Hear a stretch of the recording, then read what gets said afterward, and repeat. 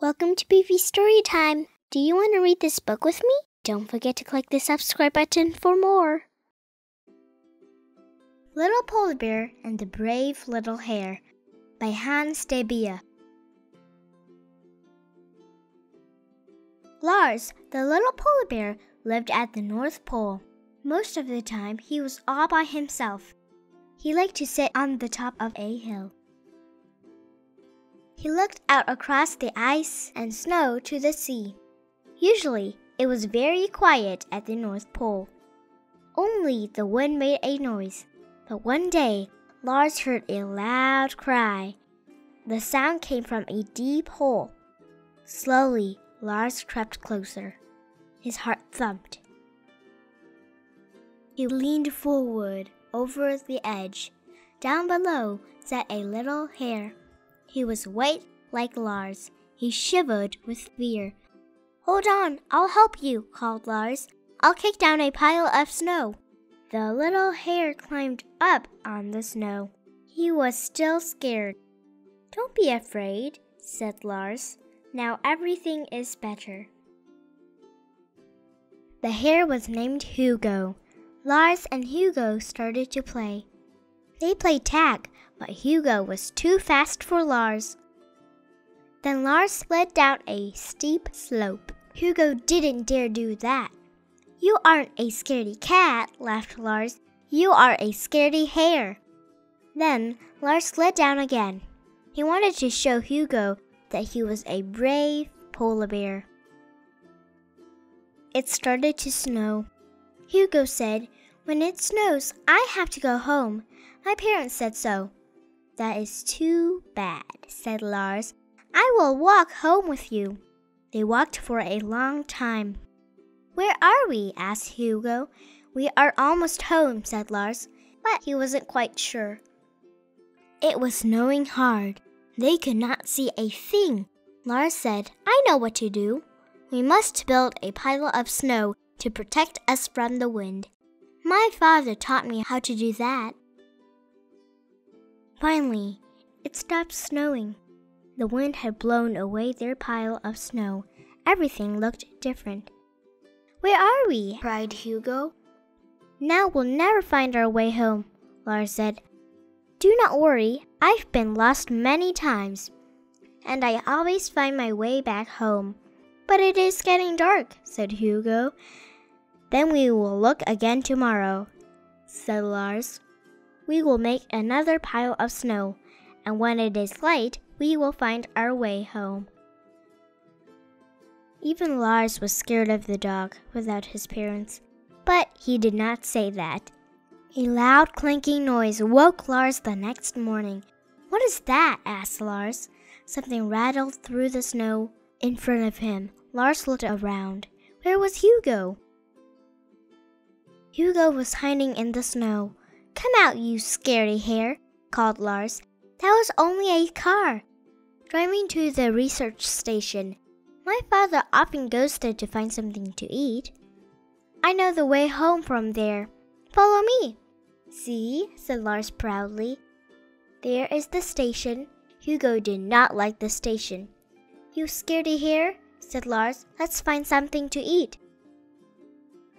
Hugo said, Let's just go home. I am not hungry. But I am, said Lars. They waited until the car was gone and everything was quiet. Behind the station, they found some leftover vegetables. Lars and Hugo had a picnic on a nearby hill. Lars said, I want to go down there again and take a look around. You can wait here. Lars climbed up on crates to the roof. He saw a hole. It was not a door, and it was not a window. It smelled funny. He could hear noises. What was inside? Lars leaned forward, and then something happened. Hugo waited on the hill. He wanted to go home. What was taking Lars so long? Lars had leaned over too far. He fell down the hole. Head first, luckily, he landed on a soft chair. He was in a dark room. He saw strange blinking lights. He heard peeps and hums. It was very hot. Lars was scared. Now Lars wanted to go home too. Lars had only one thought How can I get out of here? He wandered through the dark hallways, but all the doors and windows were shut. Outside, Hugo heard the car coming back. He had to warn Lars.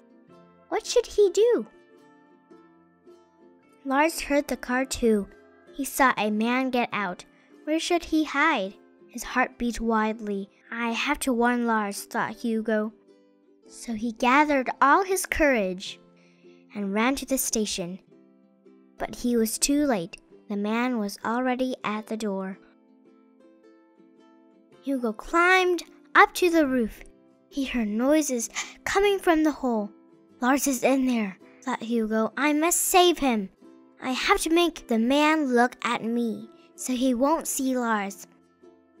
Hugo kicked some snow down the hole. The man looked up. What is happening on the roof? said the man. He went to get a ladder. The man did not see Lars. The man had left the door open. Lars was free. On the roof, the man was talking to himself. What is a hare doing up here? He wanted to help Hugo get down, but Hugo did not know that. Hugo was very scared. Now everything happened very fast. Lars called, Come down, Hugo! I am out! Then Hugo ran. He dashed between the man's legs and jumped from the roof into the soft snow. Lars ran too. He bumped into the ladder and knocked it down. The man saw a polar bear running away with the hare. What a funny sight! Hugo was much faster than Lars, but Lars was so scared that he could not stop running. Wait for me, he called to Hugo. He was out of breath. Let's rest, said Hugo. You don't need to be scared now. We're almost home. Lars was embarrassed. You were very brave, said Lars. You saved me. Now you can call me a scary bear.